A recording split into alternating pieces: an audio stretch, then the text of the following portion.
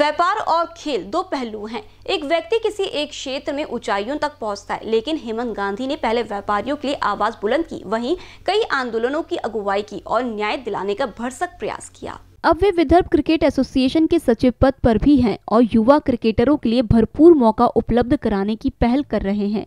नए क्रिकेटरों के सपनों को साकार करने का ध्येय निश्चित कर क्रिकेटर पट्टू के भविष्य के लिए अहम भूमिका निभाने की गवाही वीसीए सचिव हेमंत गांधी ने दी। तीस वर्षों से व्यापारिक संगठन से जुड़े रहने के बाद अब उनका लक्ष्य क्रिकेटरों को राष्ट्रीय स्तर पर पहचान दिलाने की है। विदर्भ क्रिकेट एसोसिएशन के सचिव पद की बागडोर संभालने के बाद हेमंत गांधी का लक्ष्य अधिक से अधिक युवाओं को राष्ट्रीय टीम या आईपीएल में खेलने के लिए प्रेरित करना है। इसके लिए उन्होंने अभी से कार्य आरंभ कर दिया है। गांधी को दिसंबर में वीसीए सचिव पद की ज़िम्मेदारी दी गई। देश के क्रिकेट संगठनों में वीसीए अग्रिम पंक्ति में आता है। गांधी कहते हैं कि इस वर्ष विदर्भ के पाँच क्रिकेटरों का चयन आईपीएल में हुआ है। अगले वर्ष इसकी संख्या दो गुना करना हमारा मुख्य लक्ष्य है। यही कारण है वीसीए टीमों को और सशक्त बनाने के लिए हर प्रयास कर रहा है।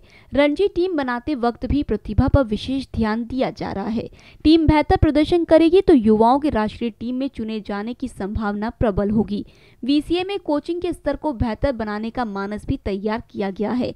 वे कहते हैं कि पूर्व आईसीसी और बीसीसीआई अध्यक्ष शशांक मनोहर ने उन पर भरोसा जताया और तीन वर्षों तक संयुक्त सचिव बनाए रखा। कार्य को देखते हुए अद्वैत मनोहर टीम में सचिव पद की ज़िम्मेदारी सौंपी गई। उनके सहयोग से क्रिकेट को एक नया आयाम देने का प्रयत्न किया जाएगा। साथ ही गांधी ने कहा कि आने वाले दिनों में ज्वाइंट एक्शन कमेटी संस्था का सदस्य बनकर सामाजिक रूप से व्यापार क्षेत्र में आने वाले समस्याओं पर नियंत्रण कर संस्थापक प्रहलाद अग्रवाल के विचार को फैलाने का प्रयत्न करने वाले होने की जानकारी वीसीएस सचिव हेमंत गांधी ने दी।